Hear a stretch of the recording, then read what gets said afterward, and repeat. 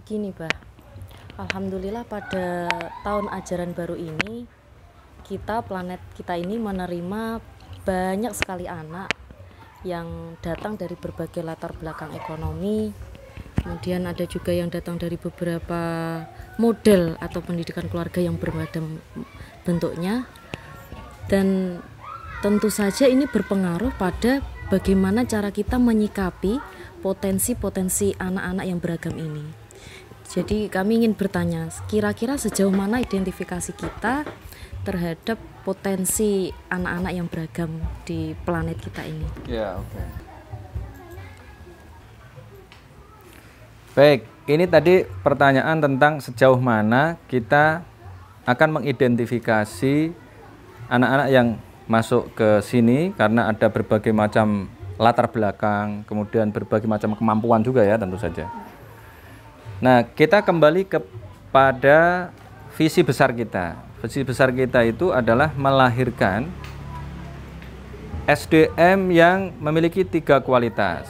Ilmu ulama, amwalul agniya, siasatul muluk wal mala yang sering saya uh, sampaikan itu saya modifikasi dari uh, pendapat Syekh Abdul Qadir Al-Jilani yang biasanya dibaca oleh Eh, kalangan NU ini. Nah, kalau Syekh Abdul Qadir Al-Jilani mengatakan ilmu ulama hikmatul hukama siasatul muluk wal mala, siasatul muluk saja ya. Itu kemudian saya tambahin tengahnya saya ganti dengan amwalul agniya. Itu sebenarnya eh, modifikasi yang saya hasilkan dari pandangan Ali Syariati. Kalau ini pemikir Syiah tapi kita nggak mempersoalkan lah mau Syiah mau Sunni e, dan lain sebagainya ya. Yang penting kita ini adalah orang yang terbuka. Nah, Ali Syariati kebetulan ini adalah orang yang e, merupakan pemikir yang dikenal sebagai tokoh Syiah. Tapi bagus pemikirannya karena dia memiliki pandangan nah, tentu saja ini e, orang politik yang e, lebih mengenal e, pemikiran ini dia mengatakan bahwa revolusi hanya bisa terjadi apabila ada tiga kekuatan ngumpul jadi satu, yaitu kekuatan askari, eh, kemudian bazari, kemudian Rawson Fikr. Jadi ada tiga dari itu. Askari itu ada militer, ini perspektifnya agak beda. Kemudian eh, bazari, bazari itu adalah pengusaha, bahasa Indonesia-nya pasar, jadi kaum pasar itu ya kaum pengusaha. Dan yang ketiga adalah Rawson Fikr. Bisa dibalik tuh, Rawson Fikrnya bisa ditaruh yang pertama karena harus ada gagasannya. Nah, kalau Rawson Fikr berarti kan ilmu ulama kapasitasnya, ya. Kemudian e, kalau Bazari ya tentu saja kalau dimasukkan di sini ya jadinya amalul agniya tadi gitu. Kemudian siasatul muluk wal mala. Kenapa begitu? Saya melihat, saya sebagai ilmuwan politik itu melihat bahwa perjuangan paling besar itu sesungguhnya adalah perjuangan politik. Kita ini berjuang di bidang pendidikan. Pahalanya banyak, tapi harus diakui bahwa perjuangan politik itu pahalanya jauh lebih banyak. Karena kalau kita ngajar, apalagi kalau di sini ya, kita bikin uh, desain pendidikan kita itu satu banding empat. Jadi satu guru ngajari cuma empat orang, ya kan? Jadi manfaat kalian itu gampangannya terbatas hanya empat orang itu mencerdaskan empat orang itu. Tapi kalau politisi, ya, kalau politisi bikin satu kebijakan politik itu bisa berpengaruh kepada seluruh masyarakat yang ada di negara itu. Kalau di Indonesia berarti satu kebijakan politik berpengaruh kepada 200 berapa sekarang? 270 juta. Sekarang 270 ya. 270 atau 250 lah gampangannya. 250 juta penduduk Indonesia. Satu kebijakan politik ya. Itu artinya apa?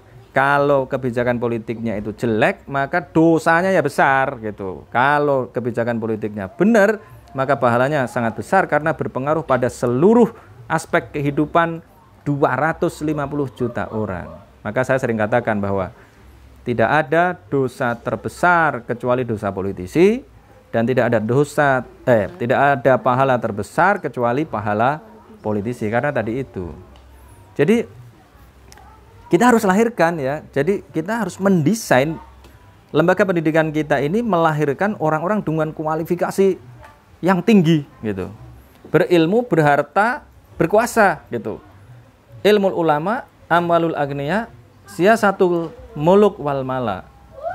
Ya, cerdas, kaya, punya kekuasaan yang digunakan untuk menolong semua orang. Karena itu adalah uh, ajaran Al-Qur'an ya kan?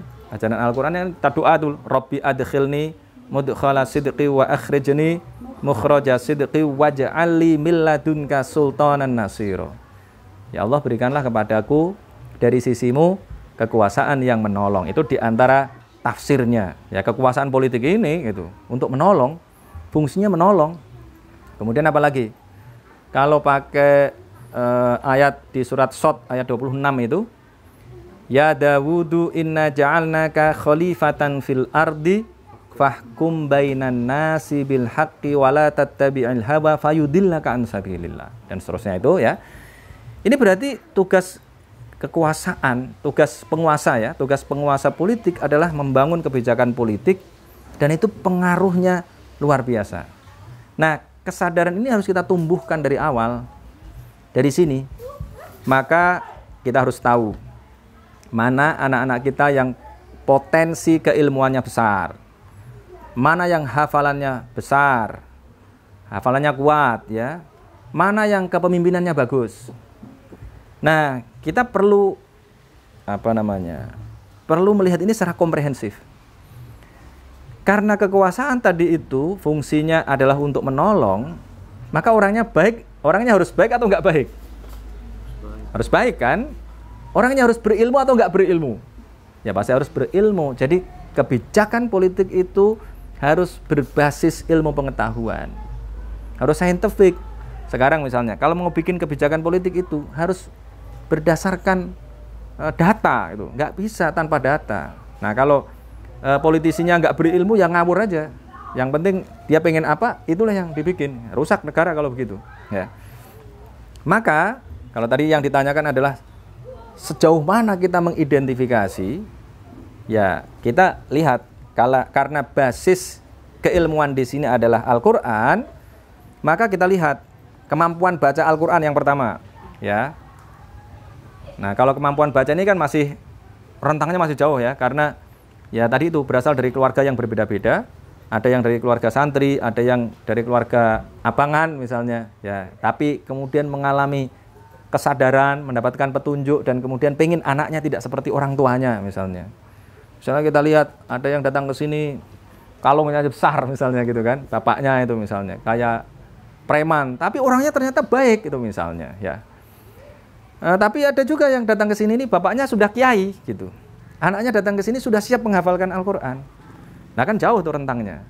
Nah kita lihat nih, siapa tahu sebenarnya anak yang tadi itu berasal dari keluarga abangan ini, sebenarnya kalau mendapatkan sentuhan yang benar, itu bisa melewati anak kiai itu loh. Kan tidak menutup kemungkinan itu kan. Tidak menutup kemungkinan kalau kita kelola dengan baik gitu. Karena ini adalah anak-anak yang masih sangat belia. SMP kan umur berapa? 12 tahun kan? rentangnya itu jauh. Itulah sebabnya saya tertarik untuk bikin SMP ini karena kalau mengelola yang sudah lulusan SMA kayak kalian dulu lah itu. Itu sebenarnya kan yang sering saya bilang itu ya kader-kader terlambat itu kan. Jadi kalau diminta untuk menghafalkan Al-Quran itu urusannya udah banyak gitu. Akhirnya misalnya nggak bisa tuntas misalnya ya. Uh, ini kita punya harapan anak-anak ini nanti betul-betul akan tuntas Makanya saya sering katakan kelas 3 SD yang tadi anak-anak yang sudah mendapatkan pembinaan tadi itu insya Allah bisa gitu. SMP ya, kelas 3 SMP. Nah paling lambat itu kelas 2 SMA mereka sudah bisa dan satu tahun itu digunakan untuk persiapan masuk perguruan tinggi excellent, masuk di fakultas-fakultas yang mereka akan mendapatkan profesi. Maka kalau mengidentifikasi harus diidentifikasi secara komprehensif. Yang pertama, bacaan Al-Qur'annya. Nah, kalau bacaan Al-Quran belum bagus, ya ditaruh di kelas yang yang bawah dulu. Nah gitu. Nah ini untuk apa namanya? Untuk mapping aja, untuk mapping ya. Dan kemudian untuk memanage mereka agar yang sudah bagus masuk sini sudah bagus bisa ngajari yang belum bagus gitu. Ya, sehingga mereka e, nanti akan saling mengajari. Siapa tahu juga ya yang bacaan Al-Qur'annya belum bagus tapi bisa yang lain. Nah, kita tidak hanya terpaku pada tiga kualitas tadi itu, tapi boleh juga mengidentifikasi mengidentifikasi potensi-potensi yang lain. Misalnya apa? Kemampuan musik misalnya. Ya. Nah, kita kan juga butuh penghafal Al-Qur'an yang menguasai musik misalnya. Karena selama ini penghafal Al-Qur'an itu rata-rata bukan rata-rata, hampir semuanya itu kalau dikasih gitar nggak ada yang bisa. Apalagi ngedram ya kan. Nah, Coba nanti di masa yang akan datang itu ada banyak penghafal-penghafal Al-Quran yang menguasai musik. Berarti kita akan kembali ke masa depan. Istilah saya itu kembali ke masa depan. Melahirkan siapa? Ibnu Sina misalnya. Ibnu Sina itu hafal Al-Quran, dokter, bisa musik. Loh gitu. Ini lepas dari ada orang yang mengharamkan dan sebagainya. Kita sudah selesai lah urusan itu ya. E, nggak perlu diperdebatkan lagi. Kita sudah memilih nih bahwa umat Islam ini harus keren. Berdakwah itu bisa dengan berbagai macam cara. Nah, potensi-potensi yang ada ini harus kita uh, kenali, kemudian kita optimalkan agar dakwah kita itu bisa menyentuh uh, berbagai macam lapisan. Ya, maka tadi itu harus diidentifikasi betul. Nah, saya ingin menekankan lagi soal menghafalkan Al-Qur'an ini, Mbak Tri, ya. Karena banyak sekali orang tua yang apa namanya ya salah memahami anaknya sehingga kadang-kadang tidak tepat uh, dalam menyikapi anaknya kemudian kadang-kadang tidak tepat dalam bersikap kepada orang lain misalnya misalnya sering saya menemukan orang tua itu overestimate kepada anaknya. Misalnya karena sudah mondok tiga tahun enam tahun itu menganggap bahwa anaknya sudah hebat misalnya. Padahal sebenarnya enggak gitu ya. Karena masuk di pondok hafalan Al-Quran dikiranya anaknya sudah hafal Al-Quran. Padahal mungkin sudah nyetor 20 juz bahkan 30 juz tapi nggak bisa disimak misalnya ya. Itu banyak sekali. Nah kita nggak boleh begitu. Kita harus mengidentifikasi betul anak ini punya kemampuan apa? Karena berdasarkan pengalaman saya kira-kira inilah mulai tahun berapa? 2015 ya.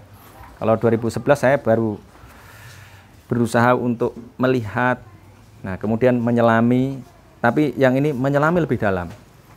Ternyata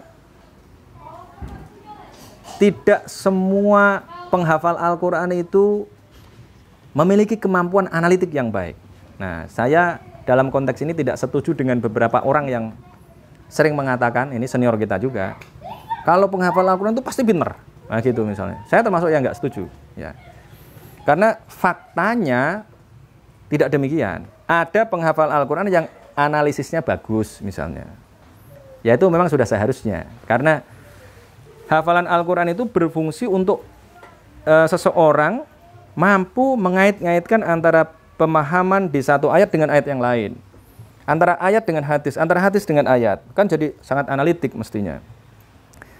Tapi itu kan yang ngerti artinya. Padahal banyak juga yang hafal Al-Quran atau berapa lah misalnya ya hafal hafal tapi tidak keseluruhan nggak ngerti artinya misalnya itu kan nggak bisa untuk melakukan analisa gitu jadi ada penghafal Al-Quran yang paham artinya dan kemampuan memahami tadi itu membantu dia untuk melakukan analisa nah, itu lengkap nih ya ya ini bisalah jadi ilmuwan ya tapi kan harus butuh support apa Pak Rozak?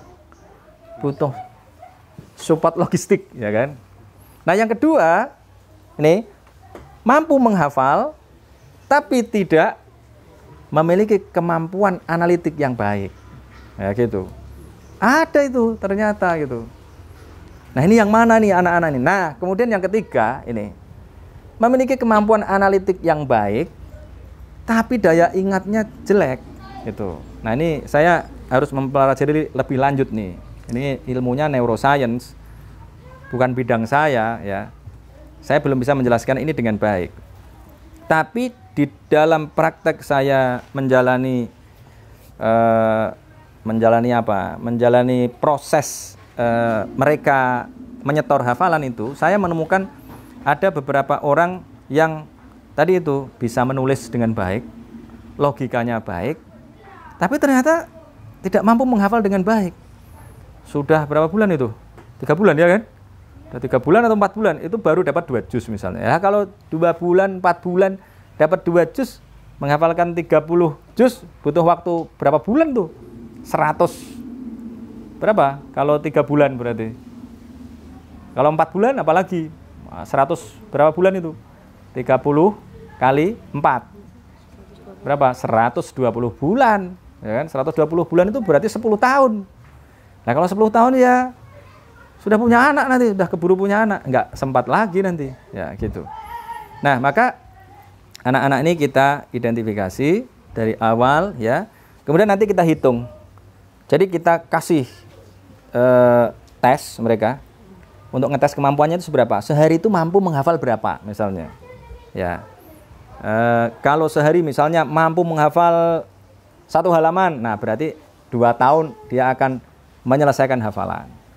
Kalau mampu menyelesaikan hafalan sehari berapa? Dua halaman nah berarti cuma 10 bulan. Tapi ya kita nggak usah berharap yang muluk-muluk kalau anak-anak SMP ini kan anak kecil kesadarannya belum misalnya satu halaman berarti kan 20 bulan ya kan Oke, kita turunkan. Tidak eh, satu halaman, tapi setengah halaman aja. Kalau setengah halaman berarti butuh waktu 40, 40 bulan berarti. 40 bulan itu berarti berapa tahun?